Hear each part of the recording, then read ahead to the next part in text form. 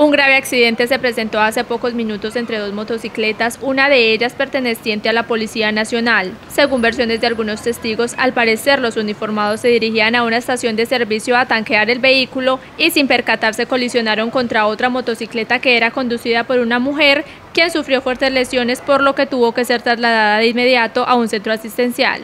Los uniformados resultaron con heridas leves y hasta el momento se desconocen las causas de este suceso.